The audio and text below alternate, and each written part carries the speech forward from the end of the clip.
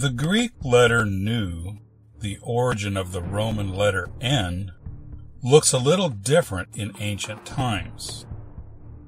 This Greek letter was adopted from the Semitic letter Nun around 800 BC. The more ancient forms of this letter appeared slightly different, and around 1500 BC, it was a picture of what appears to be a sprouting seed but it also looks eerily similar to a sperm cell. Is this just coincidence? Was it possible that ancient peoples knew what a sperm cell looked like? Let me also add that the Hebrew word nun, the name of this Semitic letter, means son or heir, the product of a sperm cell.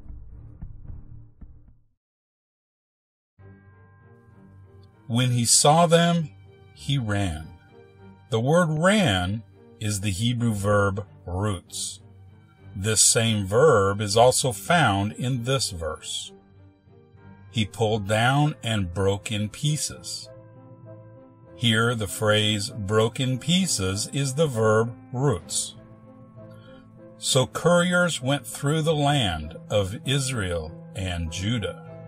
The word couriers is again the verb roots. The verb roots is derived from the two-letter root rots, which appears only once in the Hebrew Bible, trampling underfoot the pieces of silver.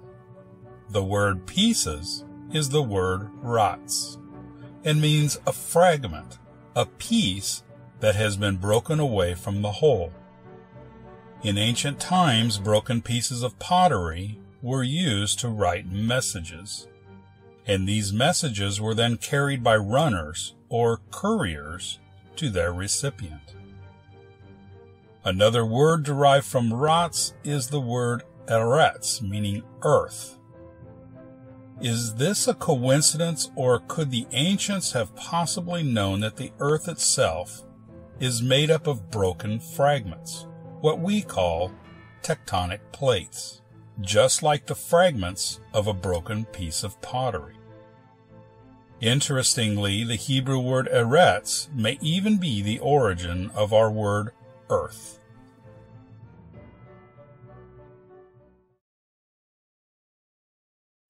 The Hebrew verb azan means to weigh out. Weighing and studying and arranging proverbs with great care. The word weighing is the verb azan.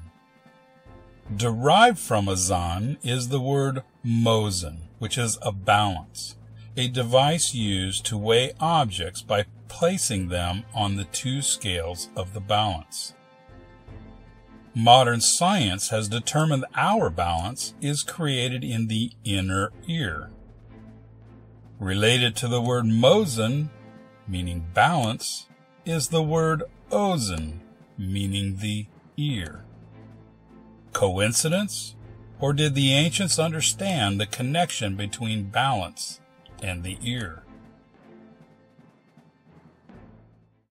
Until the modern era, it was thought that space and time were two completely different entities. But in 1905, Albert Einstein developed his special theory of relativity and determine that space and time are joined together, creating what has come to be known as the space-time continuum. In the Hebrew language, words that are used for space are also used for time. The Hebrew word epho can mean here in space or now in time. The word kadem can mean east in space or ancient in time. Reshit can mean a summit in space or beginning in time. And there are many other examples. Is this just coincidence? Or did they understand this relationship between the space and time that we've only come to realize in the past century. It is possible that the ancient peoples were capable of more scientific advancements than we give them credit for. The famous Baghdad Battery is a good example. It was discovered in Iraq in 1936. This 2,000 year old device is capable of creating electricity. Is this drawing from ancient Egypt an image of a light bulb?